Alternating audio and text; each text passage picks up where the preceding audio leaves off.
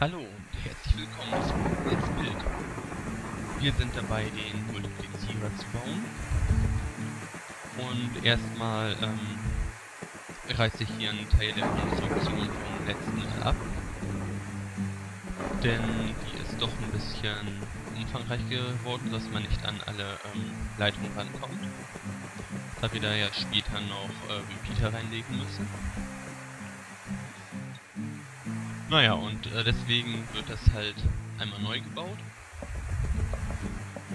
Und sollte dann besser funktionieren.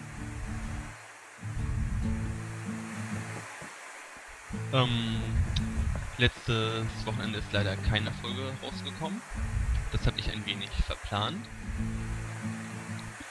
Aber dafür kommt auf jeden Fall diese und nächste Woche. Da baue ich hier schon. Habe nämlich gleich in einer Doppelfolge aufgenommen. Das macht so bei den Speedfolgen, finde ich, eigentlich ähm, mehr Sinn. Es dauert zwar, aber was will man machen?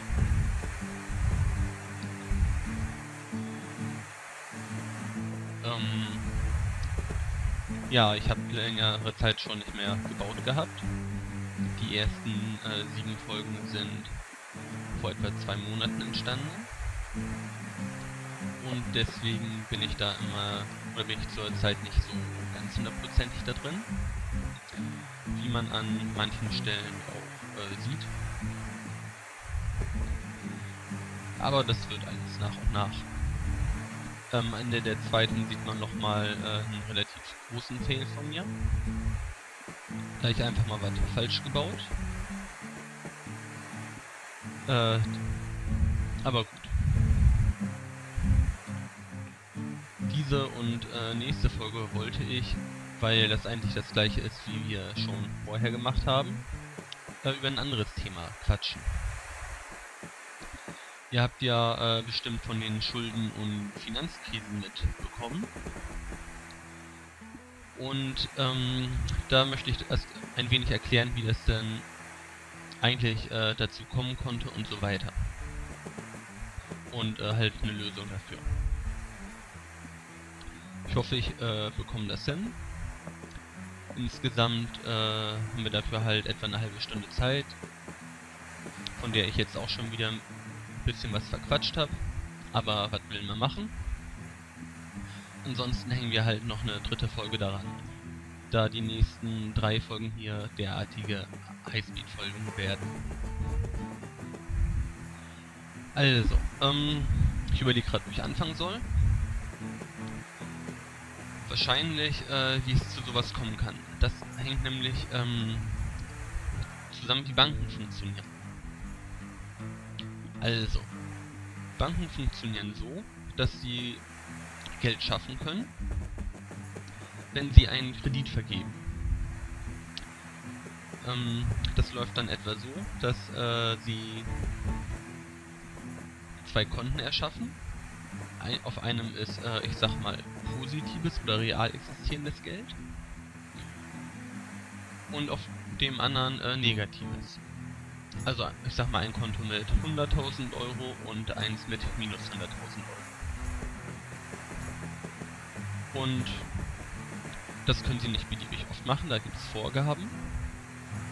Und ähm, die bewirken, dass sie zum Beispiel, ja, ich sag mal 10% Eigenkapital haben. Wie viel das äh, genau ist, weiß ich nicht. Aber 10% ist, glaube ich, ein guter Wert. Also, wenn sie 10.000 Euro haben, können sie dafür Kredite im Wert von 100.000 Euro ausgeben. Äh, dadurch, dass es da Zinsen drauf gibt, kriegt die Bank natürlich Gewinne. Ähm, den muss ich nochmal umbauen. Und macht damit im Endeffekt sogar Plus. Also, ähm, abzüglich dem, was sie den Mitarbeitern zahlen und so, macht sie einen kleinen Gewinn. Ähm, ja. Da kommt das dann äh, zu einem Problem, wenn das äh, so weit geht. Also die können natürlich, wenn die dann nicht mehr äh, Geld haben, sich bei der Zentralbank Geld leihen. Und damit weitere Kredite äh, zu finanzieren und müssen dabei an die Zentralbank äh, Geld bezahlen. Funktioniert äh, genauso, äh, als würden die sich woanders Geld leihen. Ich glaube, als Sicherheit müssen die eventuell Wertpapiere oder sonst was äh, dahinter legen, aber das sei mal dahingestellt, darauf kommt es gar nicht an. Sondern äh, die Zentralbank nimmt natürlich auch Zinsen von den Banken. Nicht viel, sehr viel weniger als wir bei den Banken zahlen müssen. Das sind glaub, also die müssen glaube ich etwa zurzeit äh, 0,25% Zinsen bezahlen. Deswegen sind die Zinsen für Sparer auch äh, nahezu bei Null. Und ähm, dadurch kommt es dazu, dass ähm, die Banken sich eben das Geld leihen, äh, dadurch Kredite verteilen können und ähm, dadurch entsteht quasi ein Fluss äh, an Geld zu den Banken hin. Ja, ähm, von den Banken geht der Fluss noch weiter zu den Zentralbanken, wenn sie sich dort Geld leihen. Sie können natürlich auch dort äh, zwischenzeitlich was, ich sag mal, zwischenparken. Gibt aber auch kaum Zinsen da drauf.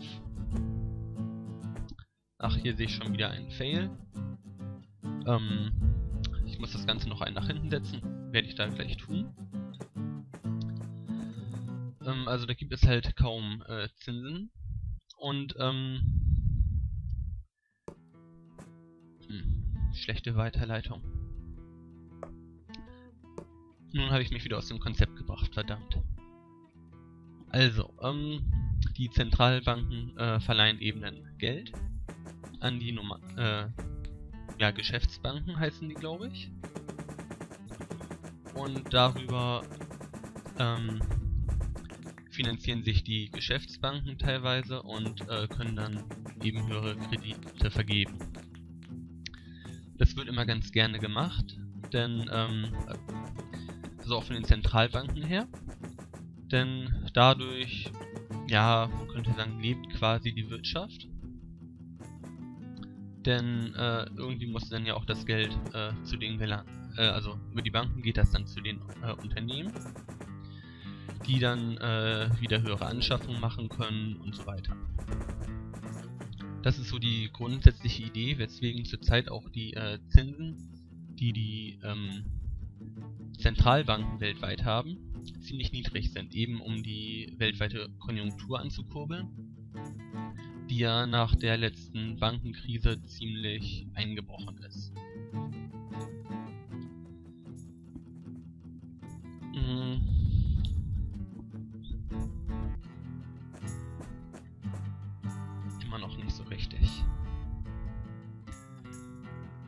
Also, äh, die ähm, Banken müssen äh, sehr wenig Schu ähm, Geld zahlen, um äh, mehr Geld verleihen zu dürfen. Was eigentlich, wenn das dann ausgenutzt wird von den Unternehmen, den äh, Gewinn dieser ähm, erhöht. Also der Banken. Und äh, die Unternehmen können natürlich auch, wenn sie Kredite aufnehmen, mehr investieren und äh, hoffen auch dadurch mehr ausgeben zu können äh, beziehungsweise mehr einzunehmen. Ähm, das Ganze ist jetzt aber so, dass ähm, die Zentralbanken ja irgendwie Geld abschöpfen. Dadurch, dass sie halt auch Zinsen nehmen. Ich bin mir nicht sicher, irgendwie wird das, glaube ich, äh, zwar wieder, ähm, wie heißt es, abgeschöpft und an die Staaten verteilt, aber wie genau das weiß ich leider gerade nicht. Aber zumindest, also da habe ich äh, auch nicht viel zu gefunden. Zumindest wird aber dadurch, dass ähm, von den Banken Geld verliehen wird äh, und die nicht ebenso viel haben müssen, äh, die Geldmenge, die im Umlauf ist, gesteigert. Was dann äh, dazu führt, dass eigentlich ja, mehr Geld als eigentlich vorhanden ist, kann man damit ja nicht sagen, weil die ja Geld erschaffen können. Aber es ist zumindest mehr Geld als vorher vorhanden. Wenn es wieder bei einer Bank angelegt wird, dann äh, führt das dazu, dass äh, die noch mehr Geld verleihen können und so weiter.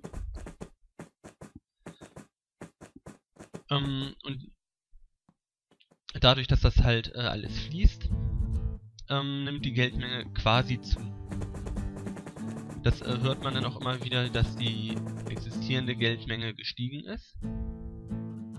Das mag ja sein. Aber gleichzeitig äh, steigen eben durch dieses Prinzip auch die Schulden, die irgendwer äh, hat. Seien es Staaten, seien es äh, Privatleute, seien es Unternehmen. Und das muss halt irgendwie meines Erachtens nach in den Griff bekommen werden, dass Geld quasi geschaffen werden kann. Ohne dabei ähm, oder man muss halt irgendwie Geld schaffen und das Ganze äh, muss sich halt irgendwann tragen können. Also Inflation ist ja auch so gewollt mit, ich glaube, 2%. Eben damit äh, mehr Geld ausgegeben wird, als man irgendwie äh, hat. Ne, das ist falsch gesagt. Also damit Geld ausgegeben wird. Und, ähm... Also sonst würden die ganzen Investitionen zurückgehalten werden, wenn die, wir zum Beispiel eine Deflation haben, also den Unterschied davon. Und die beträgt sagen wir mal 2%, das ist als würdest du, wenn du dein Geld einfach behältst, 2% Zinsen darauf bekommen, ohne irgendwas zu machen. Und bevor du das dann äh, ausgibst, denkst du dir natürlich, dann halte ich das mal zurück und kann mir dafür dann, ich sag mal, in einem Jahr ein bisschen mehr kaufen. Äh, also ist halt Inflation angestrebt.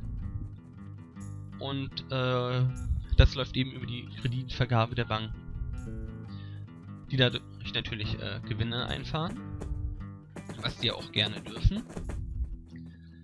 Aber äh, die Schulden steigen halt dadurch.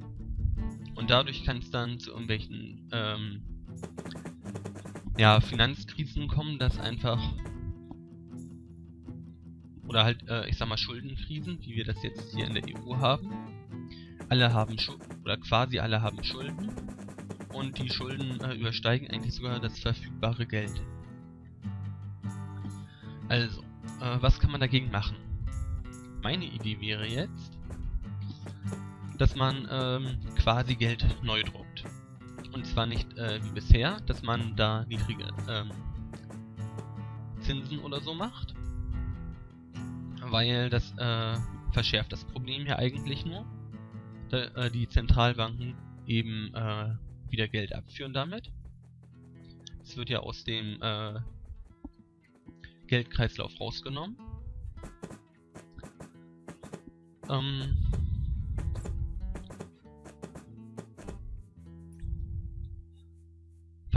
gerade wieder nicht. Also das Geld wird ja aus dem Geldkreislauf rausgenommen. Und dem muss man ja irgendwie entgegenwirken, eigentlich. Also man muss neues Geld irgendwie schaffen. Und zwar nicht dadurch, dass äh, neue Schulden gemacht werden, weil dann kommen wir wieder in den gleichen Kreislauf rein. Was gibt es dann sonst noch für Möglichkeiten? Man könnte einfach das Geld schaffen und äh, verteilen. Da ist aber die Frage, wer das bekommt. Und da ist eine globale Lösung gefragt. Also, ich sag mal, wir geben jetzt äh, jedem Bewohner der Welt in einer, machen wir es einfach mal in einer Kunstwährung, wie auch immer wir die nennen wollen. Credits oder sonst was ist im Science-Fiction-Bereich immer gerne genommen. Ähm, also erschaffen wir in dieser Kunstwährung, erschaffen wir erstmal diese Kunstwährung. Das Problem ist nur, wenn wir sie einfach nur äh, erschaffen und nirgends festmachen und darin äh, Geld erschaffen dann äh, fällt die Währung ziemlich schnell ab. Also im Vergleich zu anderen. Weil es gibt äh, die einfach in Massen. Äh, und ja, du kannst sie halt in andere umtauschen, die es aber nicht, die nicht häufiger werden.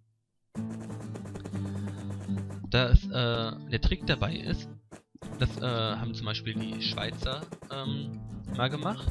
Die haben ihre Währung einfach an den Euro gekoppelt. Da müssen dann die Zentralbanken für einstehen und sagen, hier, wir tauschen das immer zu einem festen Wert. Und, ähm, also genau das muss halt dann mit dieser Währung geschehen, dass die immer zu einem festen Wert in an oder nahezu festen Wert in andere Währungen getauscht wird. Zum Beispiel könnte man jetzt sagen, ähm, wir koppeln diese Währung an die fünf weltweit meistgehandelsten. Dadurch hat das nämlich äh, eine gewisse Stabilität, die nicht nur mit einer Währung zusammenhängt, wie zum Beispiel dem Dollar oder so. Der wird ja sonst häufig genommen. Das Problem ist nur, wenn dann irgendwas mit dem Dollar passiert und der abfällt, dann fällt auch diese Kunstwährung ab. Außerdem könnte man das Ganze dann auch in der jeweiligen Währung, an die man das gekoppelt hat, ausgeben. Wenn wir es also irgendwie äh, an mehrere koppeln, wird das Ganze dadurch stabiler, egal wie viel wir erschaffen. Und kann dann halt äh, bei den Zentralbanken oder so bei den Banken entsprechend getauscht werden. Oh, ich sehe gerade, Folge ist zu Ende. Dann sehen wir uns nächste Woche wieder, wo ich weiter erzählen werde. Bis dann. Tschüss.